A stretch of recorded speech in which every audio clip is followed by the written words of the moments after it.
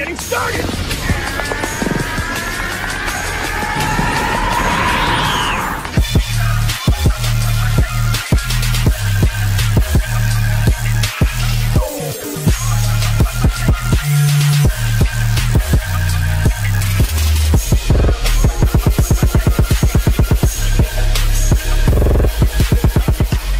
Yo yo yo, what is going on all my wonderful but amazing viewers, it's your boy Real Gamins back with another video and before anything, I would like to start by saying thank you for all my new and current viewers just watching the video and taking the time of your day, so thank you.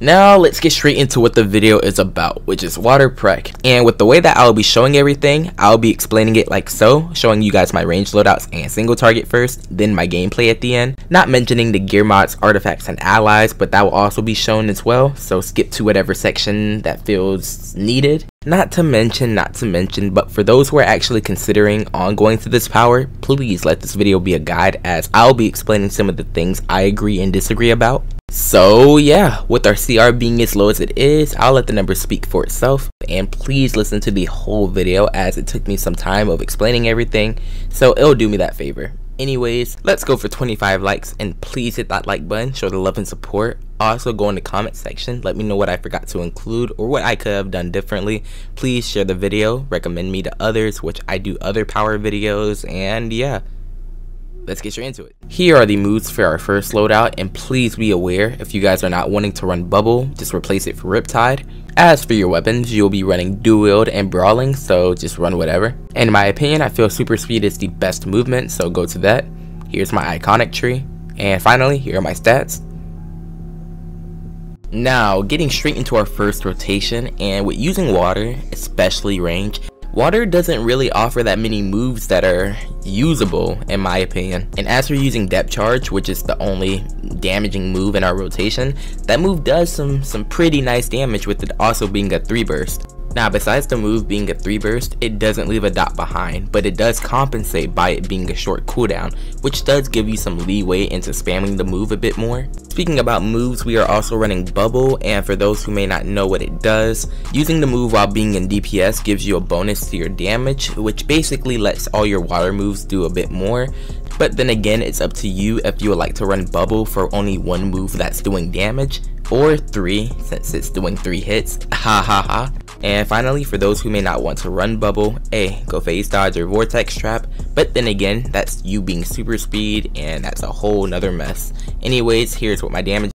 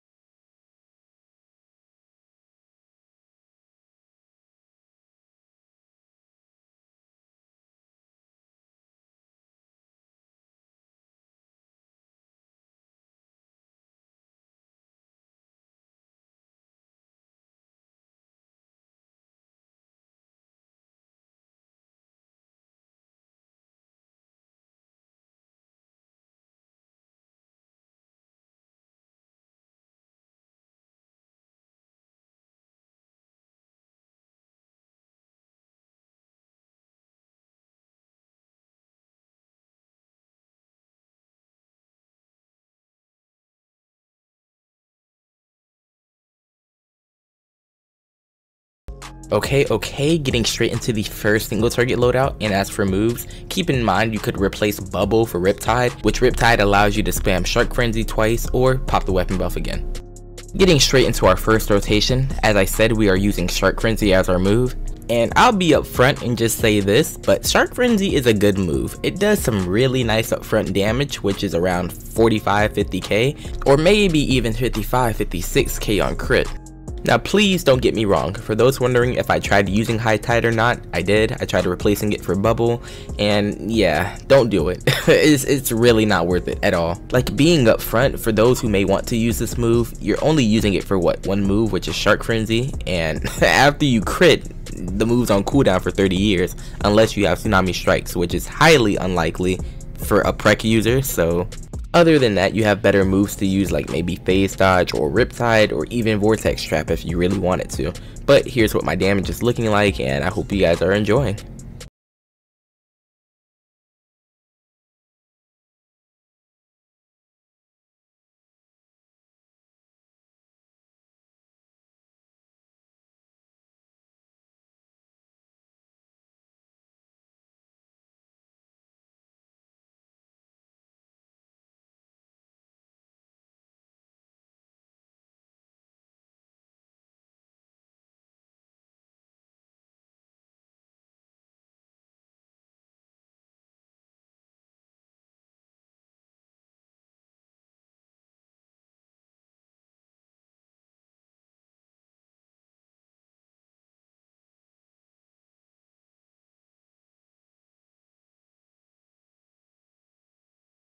On to our next rotation, and with this loadout, once again we are using Depth Charge, and as I stated earlier, one of the main things that carries this power so much is this move right here.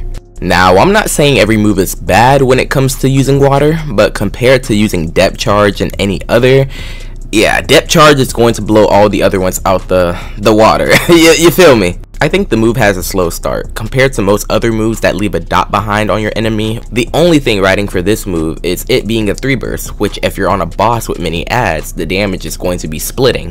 so, don't get me wrong, if you're on a boss, you will be hitting hard, especially if ads are nearby. But as I said, splitting is something that I'm not a fan of, and for those who may not understand, I'll maybe explain it later. But anyways, for what my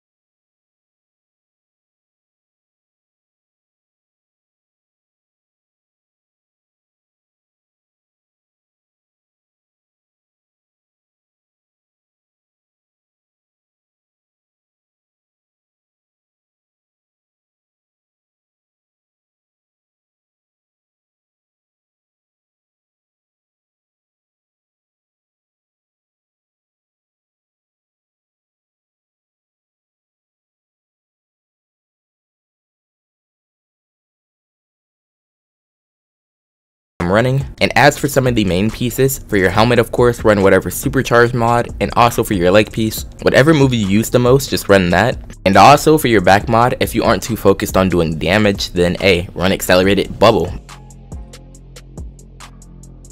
For artifacts, we're running the transformation card, strategist, and the grim. Now, for my players that have the Scrapid Soul Cloak or the EOG, hey, feel free to use that, it's completely optional, depending on your situation. And finally, you have the Quizlet, which let's not talk about my level because it's under maintenance, but for those who have it, it does a lot of damage. As for my allies, here's what I am running. I am running Cyborg, Batman Who Laughs, and Nubia. Cyborg just for the AoE attack, and he provides power. The Batman Who Laughs for the random card that he provides, which is helpful for your stats. And finally, Nubia, which also increases your stats, which level doesn't matter. So we really spoken about a lot throughout the video. I hope you guys have all made it to the very end, and for those who have, thank you, thank you a lot. Once again, but for those who are wondering if they should switch or not, I do feel you should, especially if you want to try out a new power. And as you guys have been seeing, but my numbers look nice. I'm nowhere near max gear, my gen mods aren't maxed for those who wonder, and my guitar isn't even maxed. But with every power, there are some pros and cons, so you really can't control how that works so and as i mentioned earlier with damage splitting let me just explain what that means so basically you have a move that does 15k damage and let's just say you have three ads technically you should be able to hit those three ads for 5k each correct but in water's terms Sometimes as you're popping a move, that 5k won't always stick to that 5k. It may drop to 2.5, it may drop to 3, but still, water does fluctuate like that and that's just something we can't control.